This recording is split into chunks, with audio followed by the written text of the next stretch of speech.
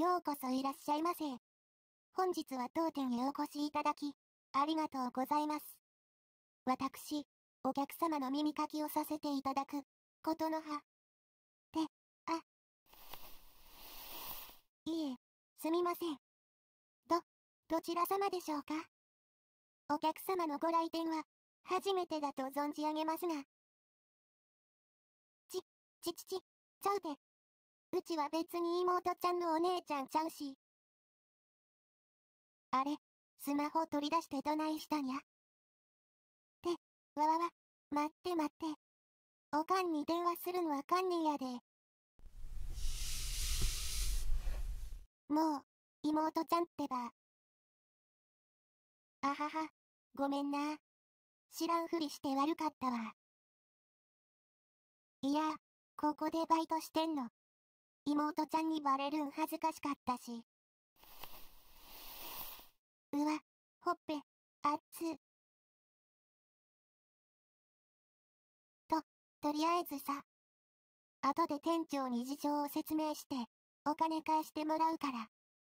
時間が来るまで、妹ちゃんは、ここでのんびりしててええよ。なんなら、今すぐ他の子にチェンジしてもらってもええし。うちでええんかいや、そう言ってくれるんは嬉しいけど。耳かきされる相手がお姉ちゃんとか、妹ちゃん的に嫌やないんか家でも、もう全然やっとらんし。ま、まあ、妹ちゃんがそこまで言うなら、うちは別にええけど。そ、それじゃあ、施術を始めるから。妹ちゃんの頭、うちの膝の上に乗せて、横になってくれるそそ、膝枕。あ、もしかして、お姉ちゃんの膝に乗せるん抵抗あるんか？それなら、耳かき用の枕を用意しよっか。膝枕でやるのが、当店のスタイルってだけやし。うん、妹ちゃんの好きな方を選んで構わへんから。そんで、どうする？ふふ、膝枕でええんか？わかったで。えへへ、それじゃあ、こっち、来て。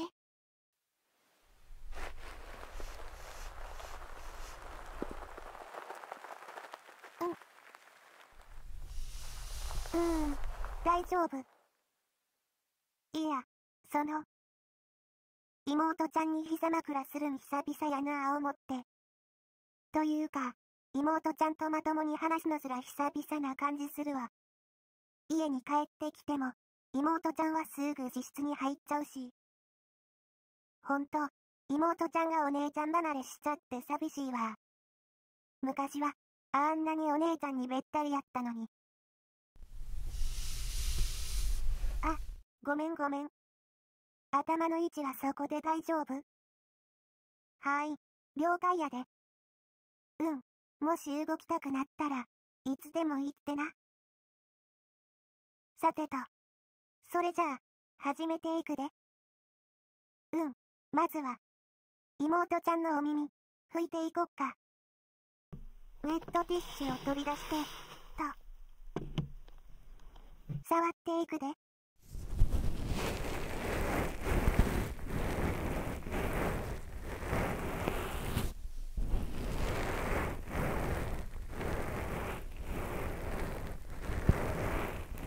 に温めておいたけど、軽トランかなちょうどええそっか、よかった。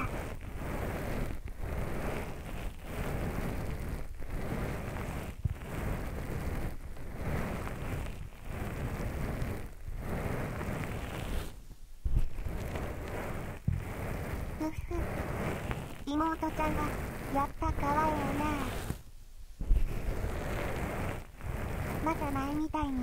ちにタイヤ泣いてほしいんやけど。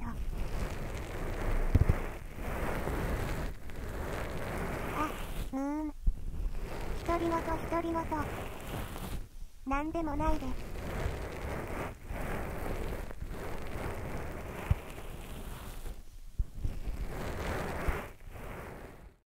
すこっちのお耳も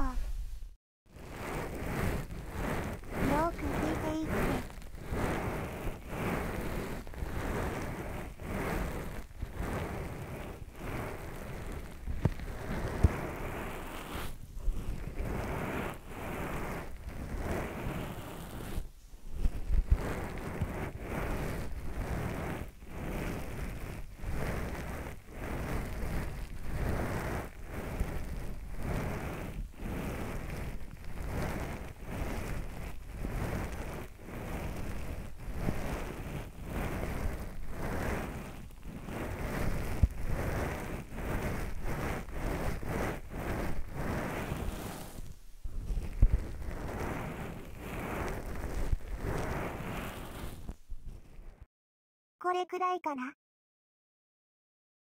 うーんと。うん、妹ちゃんのお耳、きれいにできたで。それじゃあ、お耳、お掃除していこっか。うん、こっちの方に、お顔向けてや。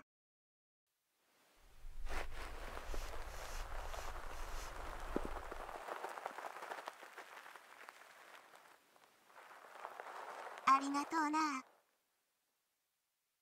それじゃあ、耳かき棒、入れていくで。ゆっくり、ゆっくり。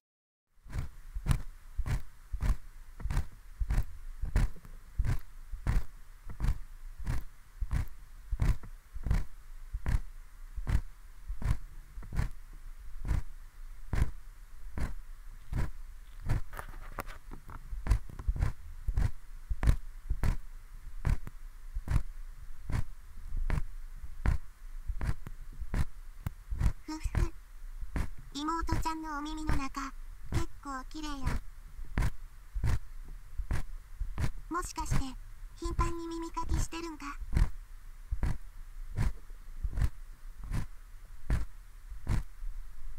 え、なんでそこで黙っちゃうんやいや、お姉ちゃんに言いたくないならええけどさ。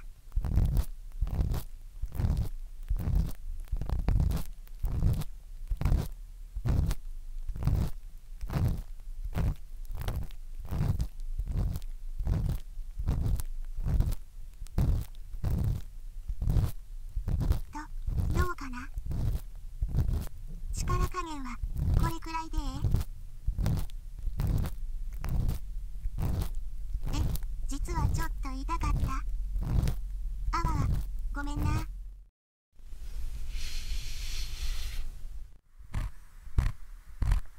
い、いつもはこんなことないんやで。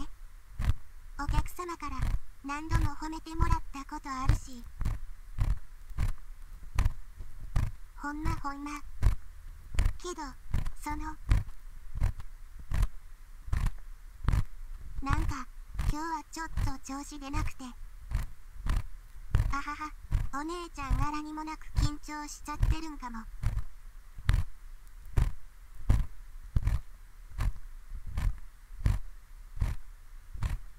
あ、でもでも、妹ちゃんが目を閉じて、ゆっくりとリラックスしてたらええからな。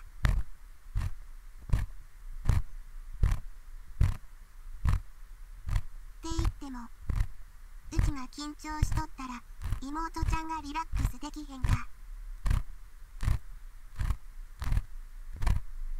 うん、まずはお姉ちゃんが落ち着かんとな。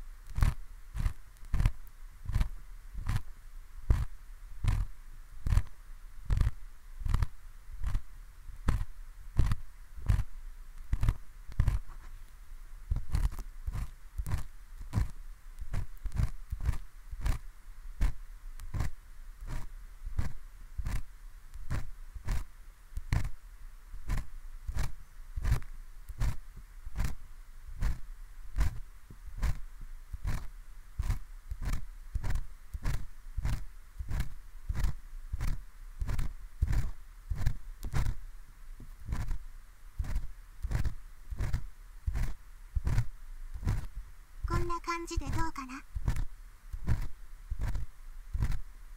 ふふ、よかったわ。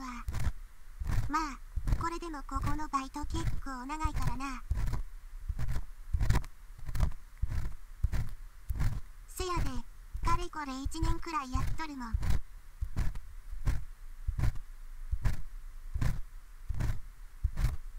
えなんで働いてるのかっていやそれはそのままあなんでもええやんか。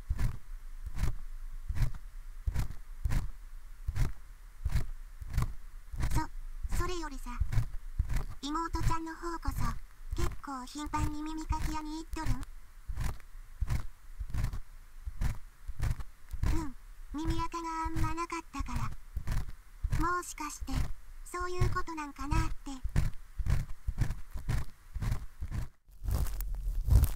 ふふやっぱりそうやんなお姉ちゃんに隠し事は通用せえへんのやでちなみにさ耳かき屋に来てるのは妹ちゃんのお気に入りの子とか。そういう子に会いに来てる感じなん？えそうやないんか？ああなるほど。妹ちゃんは今も耳かきされるんが好きなんやな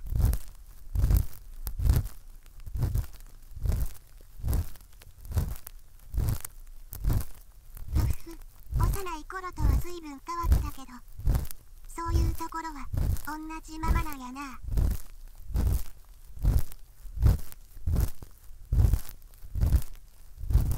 うん昔はよくお姉ちゃんが耳かきしてあげとったし懐かしいな。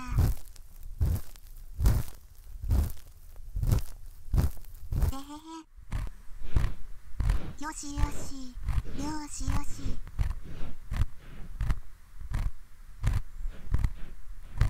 あごめんごめん。妹ちゃんは子供扱いされるん好きやなかったな。ついつい昔の癖が抜けなくて。うん。妹ちゃんはもうお姉ちゃんがいなくても一人で何でもできるんやから。お姉ちゃんこれからは気をつけるわ。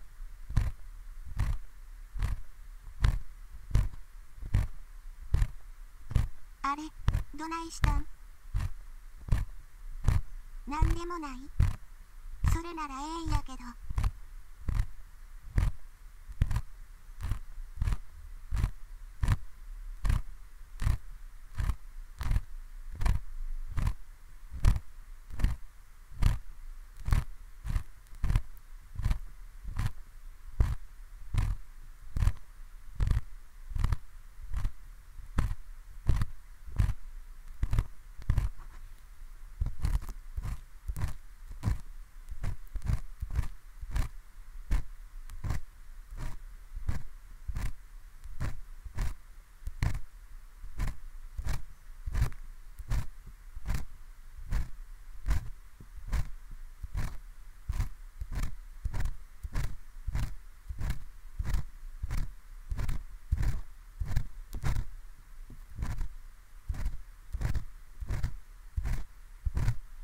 えー、っとああのさうんやっぱなんでもない。いやその妹ちゃんは最近調子どうかな思って。うんうまくいっとる。勉強とか友達付き合いとかあおせっかい焼きたいとかやなくて。ほらうち最近の妹ちゃんのこと全然知らへんから。うんほとんど喋る機会ないし。どうしてるんかなって。あもちろん言いたくないなら言わんでもええけど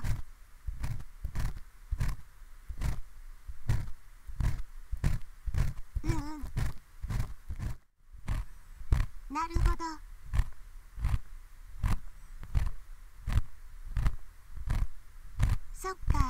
順調そうならよかったわ。えへへ。そりゃ嬉しいよ。たった一人の妹が毎日元気でいてくれてるんやから。ふふ話してくれてありがとうな。ちちなみにさ彼氏とかもいたりするへへえそっか。いないんやな。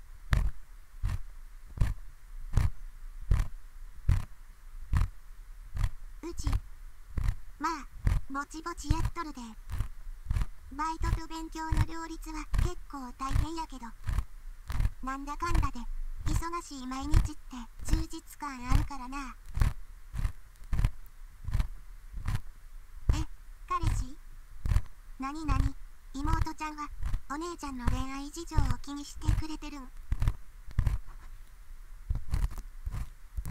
え自分も聞かれたから聞いただけ？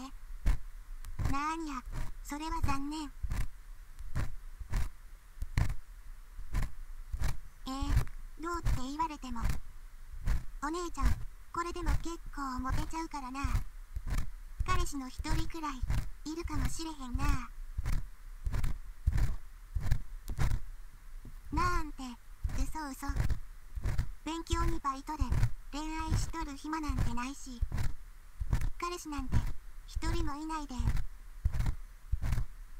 ふふびっくりした。ひょえノーリアクションはお姉ちゃん泣いちゃうで。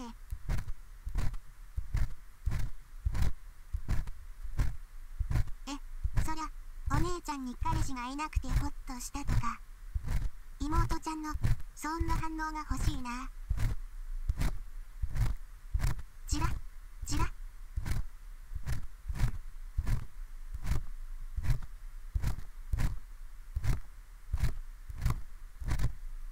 ーい今日の妹ちゃんはサービス精神旺盛でお姉ちゃん嬉しいで。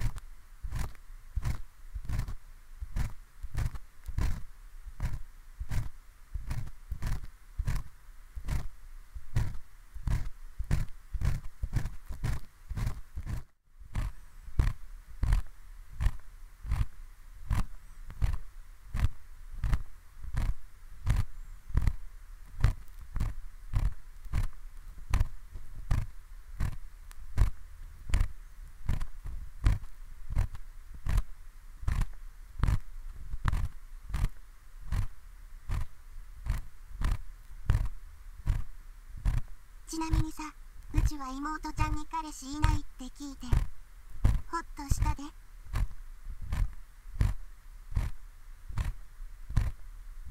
うん彼氏ができたらその人が妹ちゃんの一番になっちゃうわけやから。それってしょうがないことやけどやっぱり寂しいからさ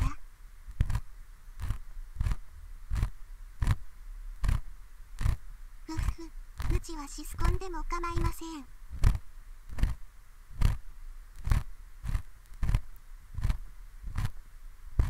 いやいやうちだって世間体とか気にすることはあるよ。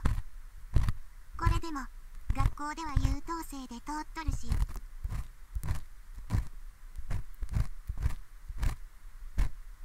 でもさ妹ちゃんを大切に思う気持ちに周りは関係ないやん。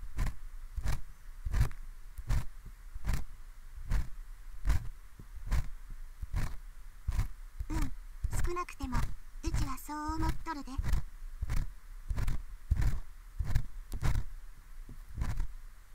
まあもちろん妹ちゃんの気持ちが第一なんやけどさ。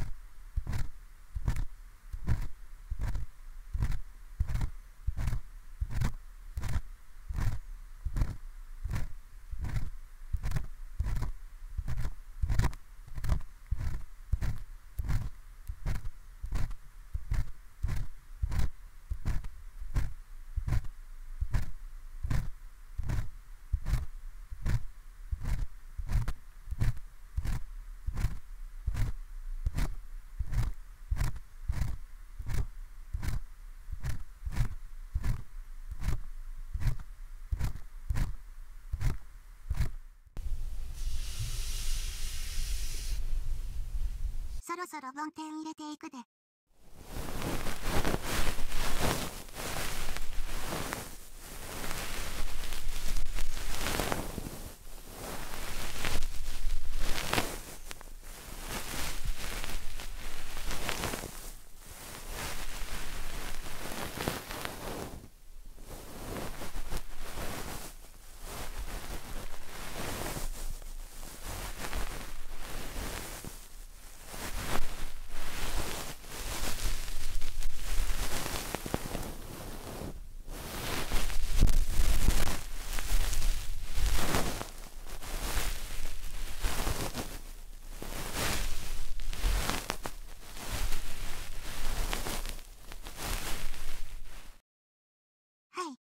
側はこれで終了やで。続いて、反対側の施術をするから、逆の方向を向いてな。あ、もちろん、お姉ちゃんのお膝でゴロンってしてもええで。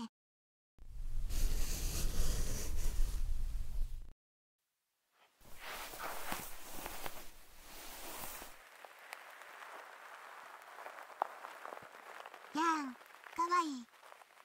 妹ちゃんが、うちのお膝でゴロンってしとる。なんか、今日の妹ちゃんは、お姉ちゃんに優しすぎるんやけど。いつものそっけない態度が嘘みたいや。え、え、なんかあったんか？あ、すまんすまん。こっちのお耳も、耳かきやっていこっか。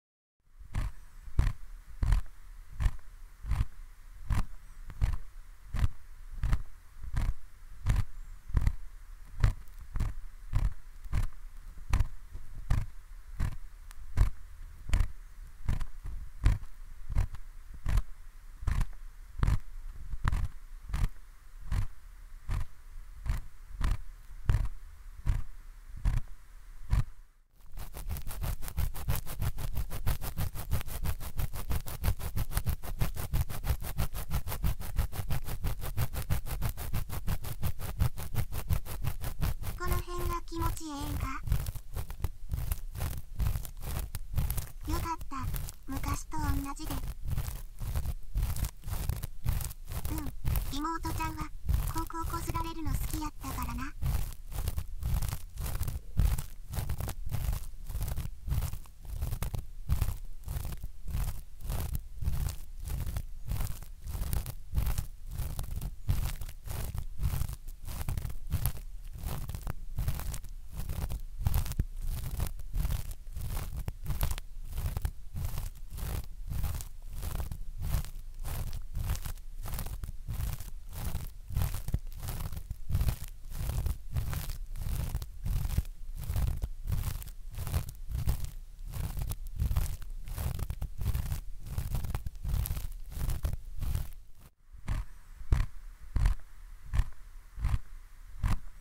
昔はさこうしてよく妹ちゃんに耳かきしてあげてたな。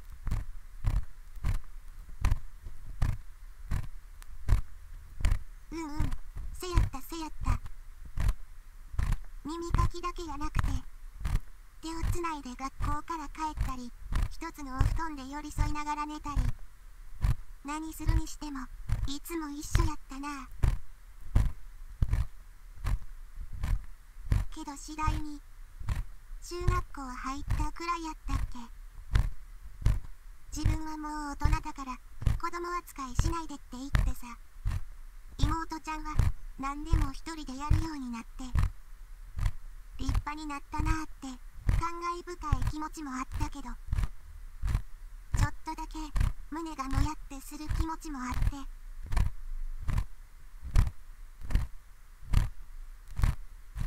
うーん気にせんといて。妹ちゃんが大人になるにつれて姉離れしちゃうのはしょうがないことやも。んむしろうちこそ早く妹離れするべきなんかなって思うし。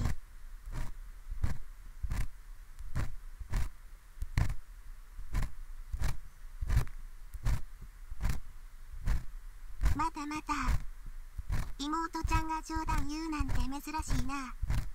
本当はもっとお姉ちゃんと一緒にいたかったなんて。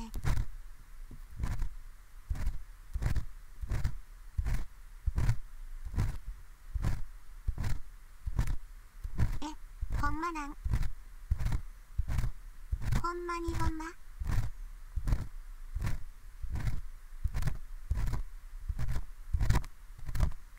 あうん。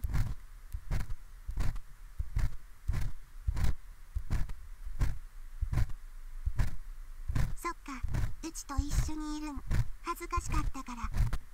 そっけない態度とってただけやったんか。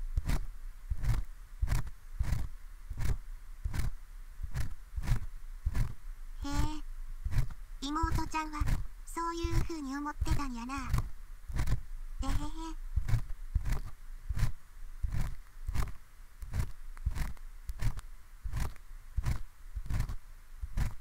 それやったらさ今はええの。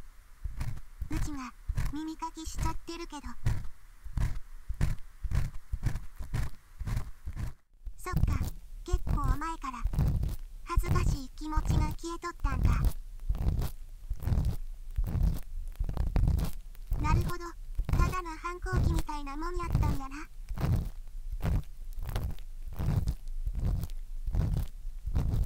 ふふ別にええんやない？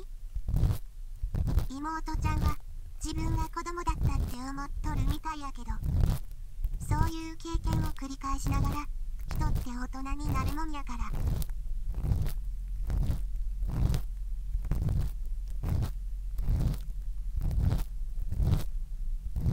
いやいやうちは妹ちゃんのこと怒ってへんで。そりゃそっけない態度取られて寂しいこともあったけど。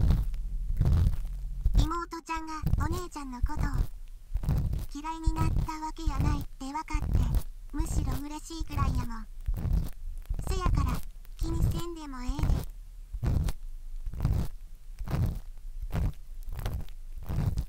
でうんお姉ちゃんはいつも妹ちゃんの味方やから。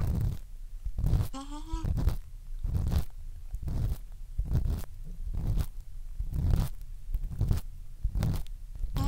妹ちゃんの気が済まへんの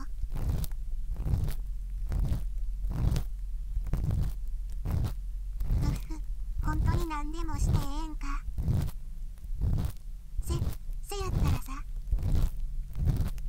また妹ちゃんのことよしよししてもええかな。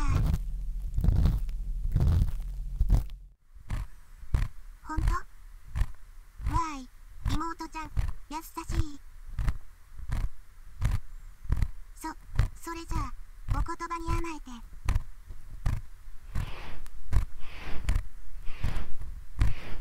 しよしよしよし。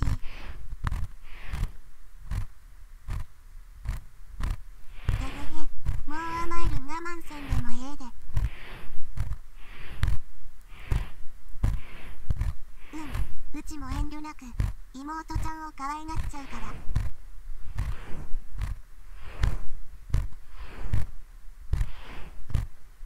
よしよし。よしよし。やんかわいい。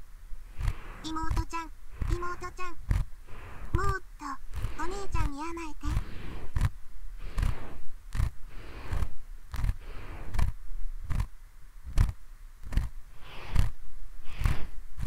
よしよしよしよし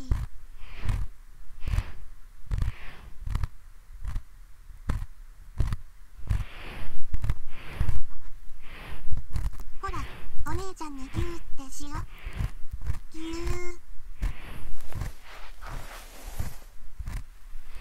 きゃあかっこいい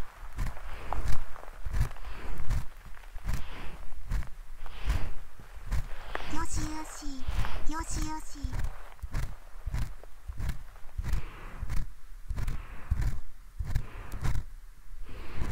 はあお姉ちゃん幸せすぎて頭がどうにかなっちゃいそうやで。かわいい。かわい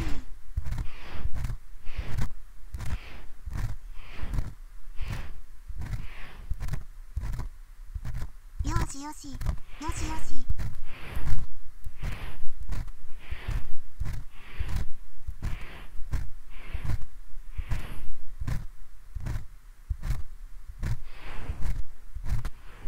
はっつい妹ちゃんが可愛すぎてうちちょっと記憶飛んでたかもしれここのことはおかんには内緒なうん。バレたら絶対松代までネタにされ続けるから。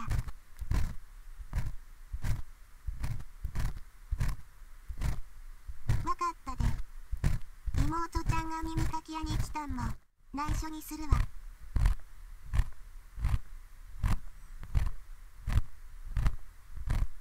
えへへありがとうな。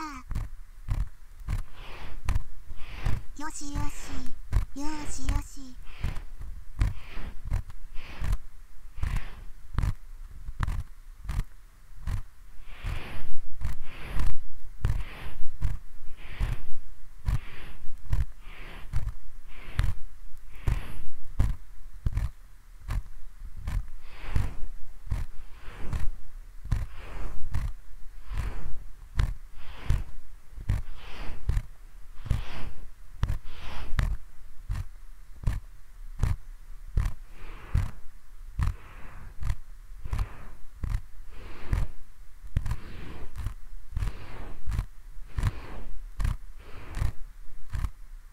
それにしてもさ妹ちゃんは自分のことを子供って言ってたけどもう立派な大人になってるって思うで。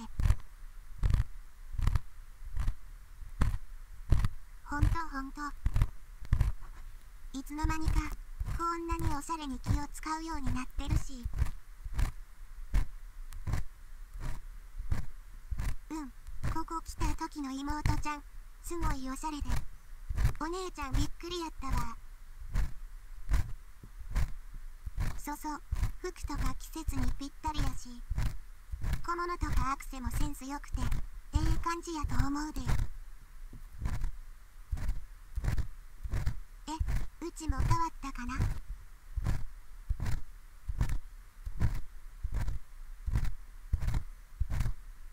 いやいや別に太ってないし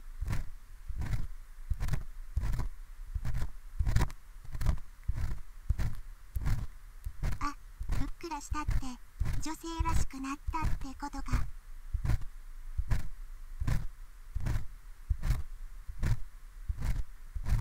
えほんとうちそんなに可愛くなったかな。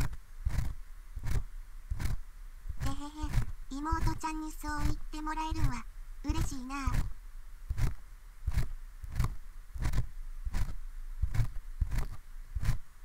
そうやって他人を気遣えるのも大人って感じがして妹ちゃんはやっぱりいい女になったって思うで。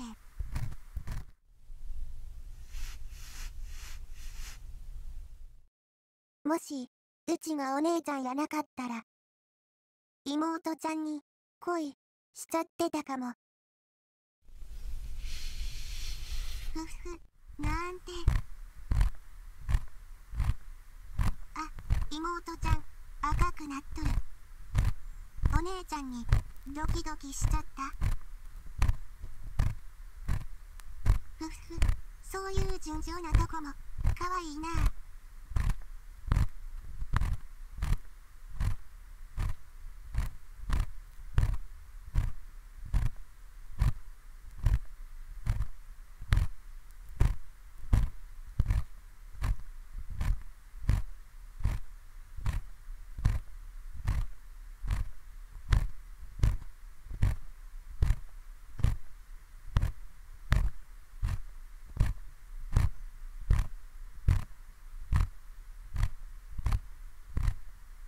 あよかった。いやさ思ったよりちゃんと話せとるから。うん妹ちゃんと。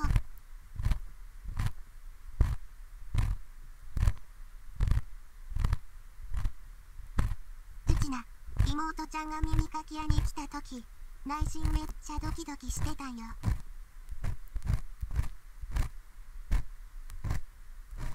そうそう頭ん中真っ白でさ。けどなんだかんだで昔みたいに妹ちゃんと話すことができてそれがすごく嬉しくて。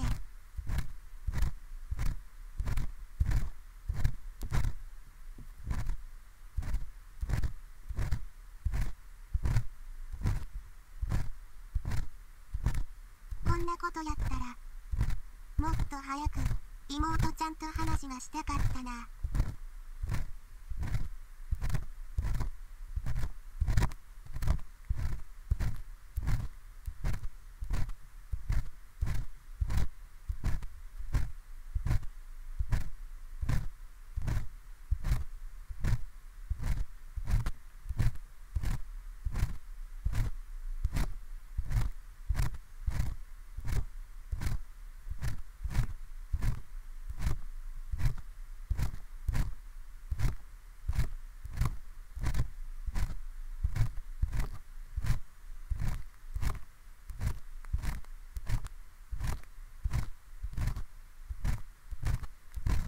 当はさ。うちが耳かき屋でバイトし始めたのって妹ちゃんと話す。きっかけ作りにしたかったからなんや。耳かき屋でバイトしてるから妹ちゃんにもしてあげようか。って感じで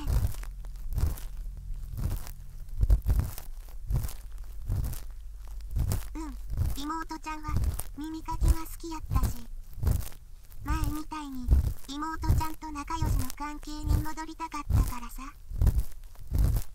ぎこちない関係のままなんてうちは嫌やったし。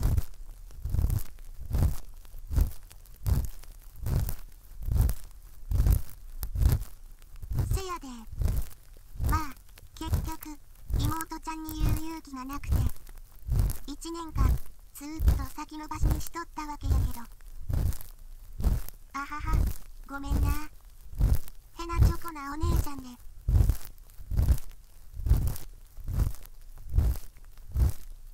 え妹ちゃんも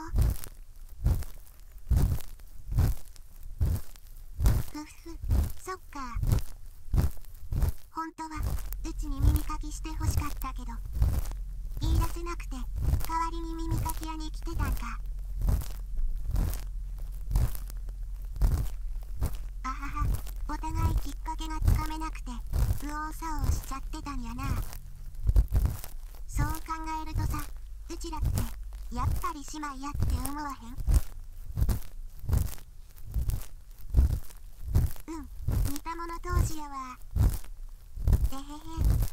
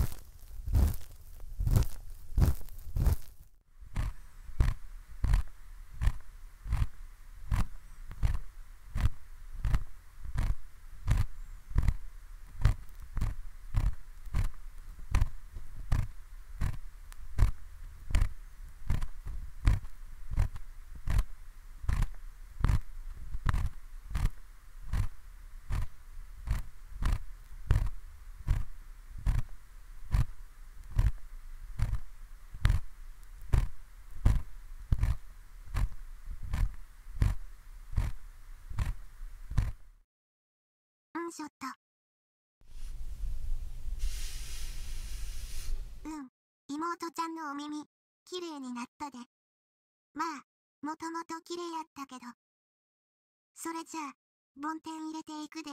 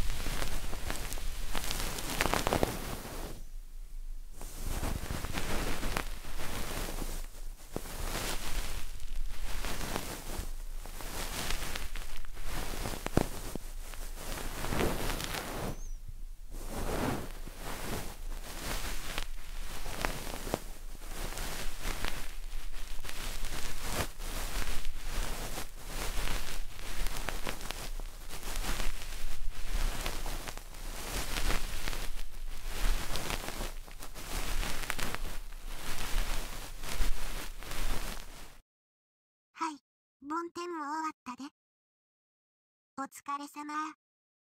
お耳、すっきりできた。ふっふ、それは何よりや。それじゃあ、施術はこれで終わりということで、忘れ物がないように。うん、気ぃつけて帰ってな。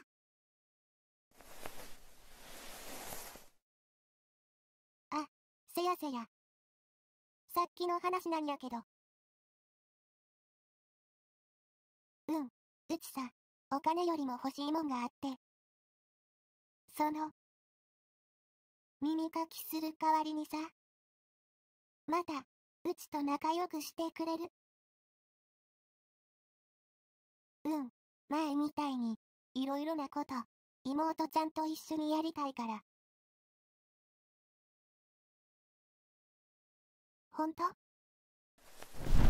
ありがとう。ぎゅー。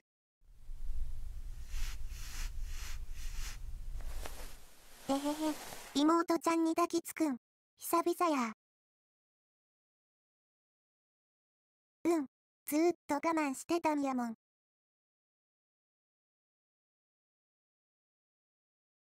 ふふ、もうちょっとだけ、このままでいよっか。終了時間が来るギリギリまで。せっかく妹ちゃんに許可をもらったんやからさ。今さら迷惑だって言われても話してあげへんから。わ、むしろ抱きつき返してくれるん。えへへ、妹ちゃん、大好きやで。ぎゅー。うん、これからまた、ずーっと一緒やで。